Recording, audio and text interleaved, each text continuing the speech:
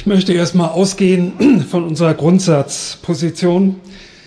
Der Angriff der Hamas auf Israel am 7. Oktober war kein spontaner Pogrom, sondern eine über längere Zeit vorbereitete, planvolle Militäraktion der Hamas gegen Israel durch Angriffe vom Meer, vom Boden und aus der Luft. Ihr Ziel war nicht die Verteidigung der Menschenrechte der Palästinenserinnen, sondern ein Schritt hin zur Auslöschung des Staates Israel und der Vertreibung aller Juden und Jüdinnen, wenn nicht ihrer Vernichtung. Das ist die militärische Übersetzung der politischen Parole Free Palestine from the River to the Sea. Und da gibt es keine unterschiedlichen Interpretationen. Diese Parole ist eindeutig, dass sie Vernichtung meint, denn der Staat Israel als jüdischer Staat soll verschwinden. Der Angriff war zweitens einer gegen Babys, Kinder, Frauen, Männer und alte Menschen gerichteten spezifischen barbarischen Grausamkeit des Folterns, Vergewaltigens, Köpfen, Verbrennens, Ermordens und Verschleppens eine Botschaft der eliminatorischen Vernichtungsabsicht. Das muss man ganz klar betonen. Da gibt es keine Relativierung, kein Arbeiter, äh, kein Aber und kein Kontext. Diese Botschaft wurde in Israel sofort verstanden.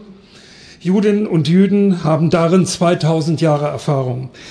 Wir stehen in Verantwortung für die deutsche Geschichte.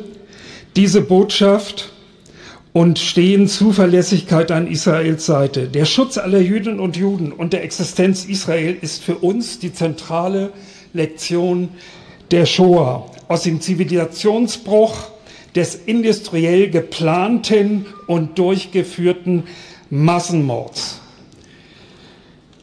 Deutschlands an Juden und Juden. Es ist eine Lehre für die gesamte Gesellschaft angesichts der weltweit anwachsenden antizionistischen, antisemitischen Pogromstimmung, die es zu unserem Entsetzen auch in Teilen der internationalen und der deutschen Linken gibt. Ich möchte ja noch mal betonen, wer hier auf, auf äh, optimistisch macht und was es an äh, Dialogen und pädagogischen Sachen gibt an irgendwelchen Unis, die Hauptrichtung ist eine ganz andere. Wir haben eine Explosion des Antisemitismus, wir haben eine Explosion der Angriffe, und zwar auch der körperlichen Angriffe, Zentrum Berlin, aber auch im Ruhrgebiet. Und dem muss man sich stellen und nicht hier Zweckoptimismus machen. Und deshalb geht es auch nicht um den Schutz jüdischer Einrichtungen alleine. Es geht um den Schutz jüdischen Lebens, wo auch immer. Und das bedeutet, Schutz kann nicht gewährleistet werden allein durch Polizei vor jüdischen Einrichtungen, sondern die Zivilgesellschaft Deutschlands muss aktiv werden. Darauf müssen wir hin, hinarbeiten. Wenn nicht alle aktiv werden, wird es den Schutz der Juden und Jüdinnen nicht geben.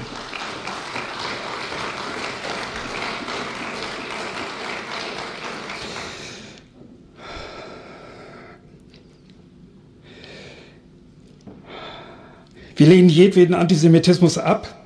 Ich habe es ja schon gesagt.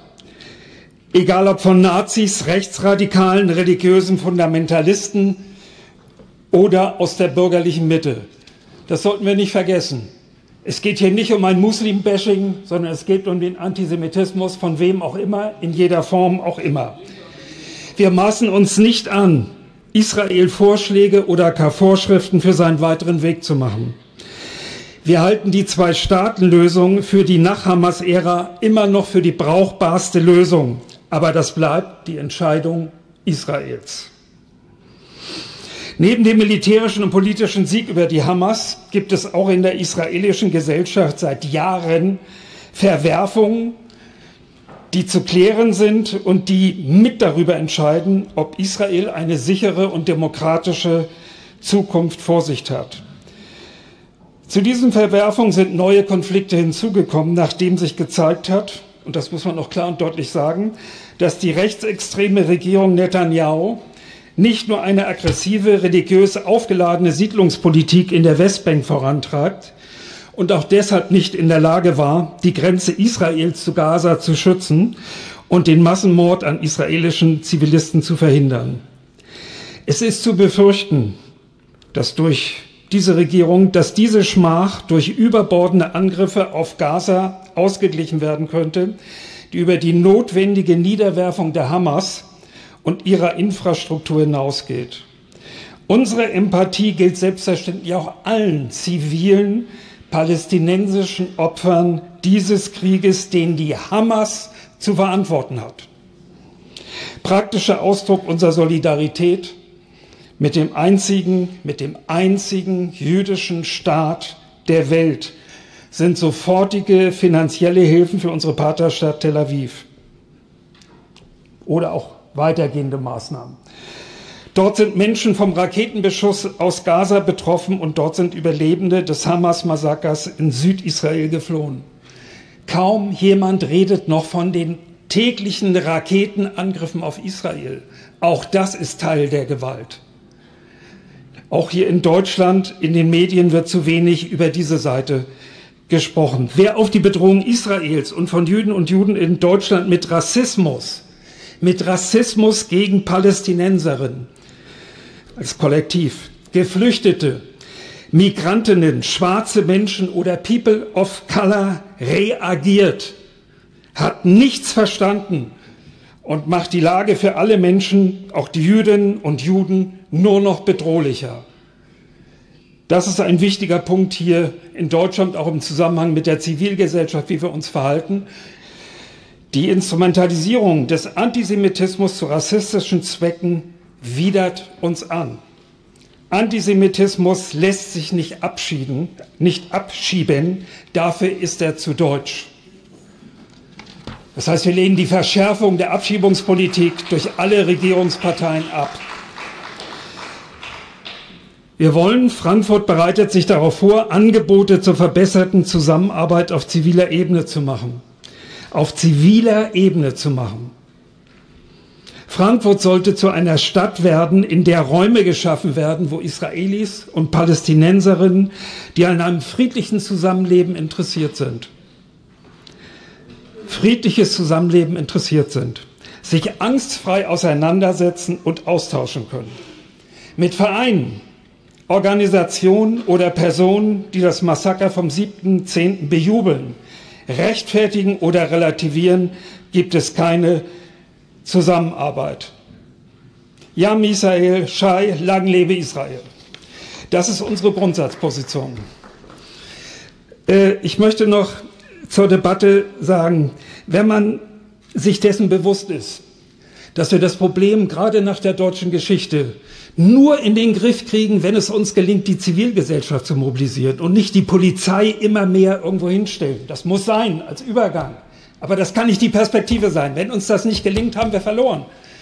Es geht dabei nicht nur um das Problem der Juden und Juden, es geht um das Problem um Rassismus, es geht um das Problem um, Fremdenhass und es geht dann nochmal äh, sehr potenziert um ein besonderes Problem des Antisemitismus. Nur die Zivilgesellschaft kann das lösen.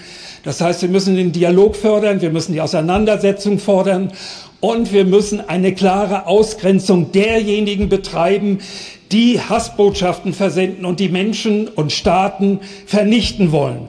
Wenn das nicht geschieht, diese, diese zwei Seitenlogik, wenn wir das nicht erreichen, dann werden wir scheitern. Dazu gehört auch eine ehrliche Rhetorik. Man kann hier immer wieder betonen, wir alle und wir in Frankfurt. Aber so ist es nicht. Es sind nicht alle in Frankfurt gegen Antisemitismus. Es gibt eine brutale Fraktion, die Antisemitismus vorantreibt. Und das sind nicht das sind, nicht nur, äh, das sind nicht nur diese palästinensischen Organisationen, die jetzt auf der Straße waren, die immer zitiert werden.